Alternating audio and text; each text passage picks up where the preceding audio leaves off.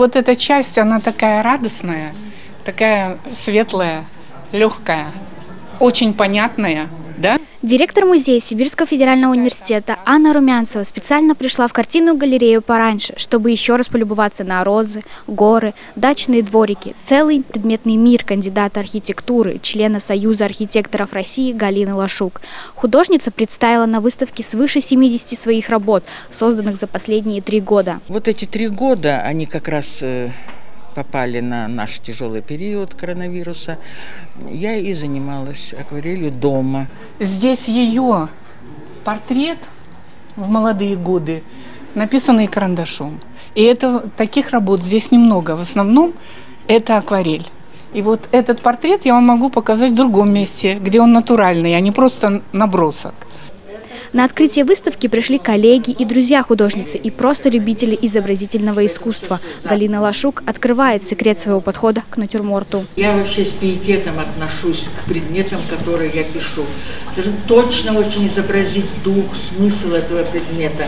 Натюрморт, говорит художница, это загадочное явление, где вещи вступают в диалог друг с другом. Как рассказывает автор выставки, в три года она начала чиркать карандашами, и соседка сказала пророческие слова «станет художницей». Галина Петровна окончила детскую художественную школу имени Сурикова и считает себя ученицей в четвертом поколении нашего великого земляка. Суриков ратовал за открытие школы. У него был ученик Каратанов – а у Каратанова был ученик Лекаренко. После школьных занятий с заслуженным художником России Андреем Лекаренко Галина Петровна училась в Московском архитектурном институте. 40 лет проработала в Институте архитектуры и дизайна СФУ. Об этих годах вспоминают коллеги-художницы. Когда я приехал в Красноярск на факультет и на эту специальность, да, я попал в группу, с ней вместе мы вели. Я третий курс, она ну, в одной группе. Я у нее учился вот педагогики, так скажем, архитектурной. Сергею Геращенко очень понравилась одна из работ «Срезанные розы». Художница пообещала подарить ее профессору. «Искусство – это болезнь, которая никак не проходит», – шутливо говорит она про свое увлечение и об акварели готова говорить часами.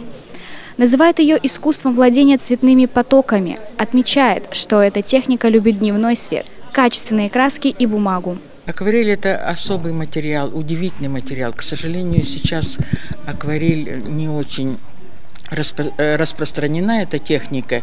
Ее редко преподают даже в школах и вузах.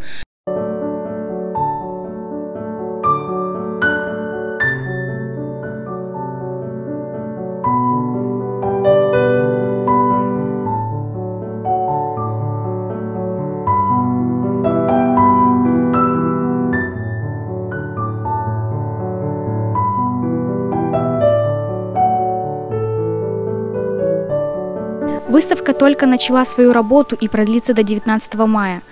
Джамиля Ташова, Станислав Катунин, телевидение Сибирского федерального университета.